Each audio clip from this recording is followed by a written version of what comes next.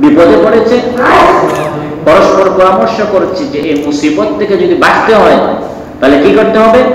দোয়া করতে হবে। কি করতে হবে? এখান থেকে আমরা বুঝতে পারি, কোন বিপদে পড়লে চাইতে হবে কার নিকট? দোয়া করতে হবে।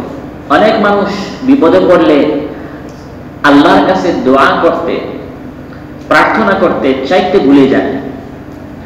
বিভিন্ন বন্ধু বান্ধব পরিচিত টাকা পয়সা এই সে ওসিলায় সে চায় এই বিপদ থেকে যেন সে পরিত্রাণ এবং মুক্তি পাওয়ার চেষ্টা করে এগুলো হচ্ছে মাধ্যম উপকরণ সবব আল্লাহ তালা এগুলোর মাধ্যমে আপনার টাকা পয়সার মাধ্যমে আপনাকে বিপদ থেকে উদ্ধার করতেও পারেন দোয়া করতে হবে وقال ربكم ادعوني أستجب لكم إن الذين يستكبرون عن عبادتي إن الذين يستكبرون عن عبادتي سيدخلون جهنم داخرين আল্লাহ তাআলা বলেন তোমাদের রব ঘোষণা করেছেন উদরুনি তোমরা আমাকে ডাকো আমি তোমাদের ডাকে সাড়া দিব देने को वह तैयार है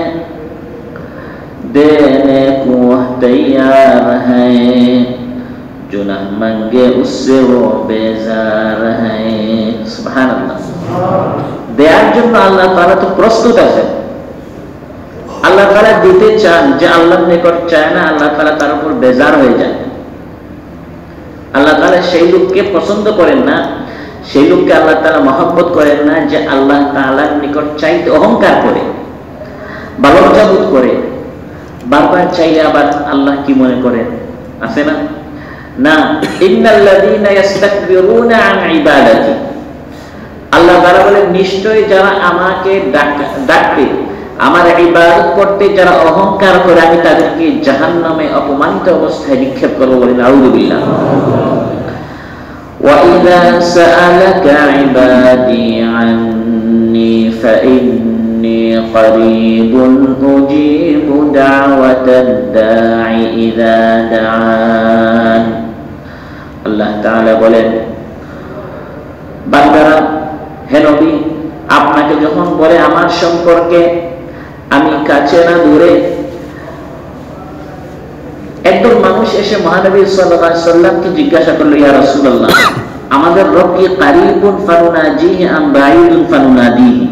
রব কি কাছে যে আমরা কানাকানি করব, না দূরে যে ডাকতে হবে, চিৎকার দিতে হবে? আল্লাহ তাআলা কোথায়?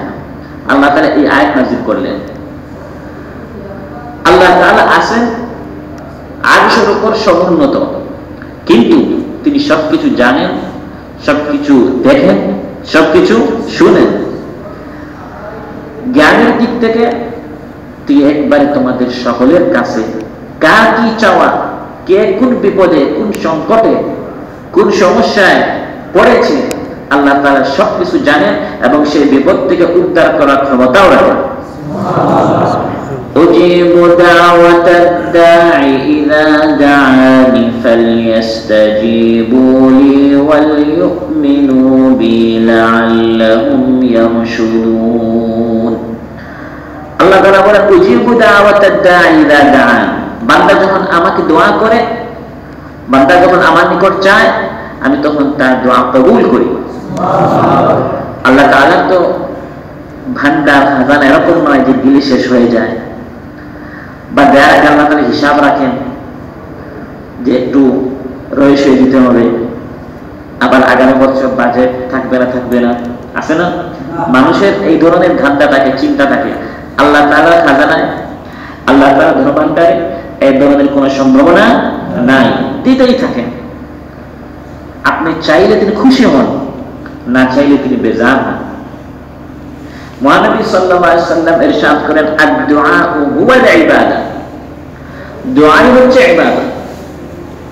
মূল আমরা করি আল্লাহ নামাজ, রোজা, হজ, যাকাত, তিলাওয়াত জিকির এগুলোর মূল উদ্দেশ্য কি? যে আপনি আপনার বিনয়ী, আপনার অপারগতা, আপনার অক্ষমতা, আপনার কমজোরি, আপনার দুর্বলতা এটা আপনি আল্লাহর সামনে কি করবেন প্রকাশ করবেন এবং সবচেয়ে বেশি দুর্বলতা প্রকাশ হয় দোয়ার মধ্যে ادعوا ربكم تضرعا وخفية إنه لا يحب المفسدين আল্লাহ তারা বলেন তোমরা আল্লাহ তাআলাকে ডাকো কাকুতি মিনতি করে গোপনে একাই কি আল্লাহ তাআলার নিকট মনের যত বেদনা আছে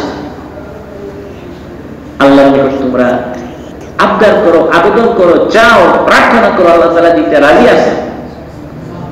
আল্লাহ তালা কৃপণতা করেন না। সংকটে পড়েছ, সাজদা দাও, দোয়া করো, আল্লাহ তালা দিবেন।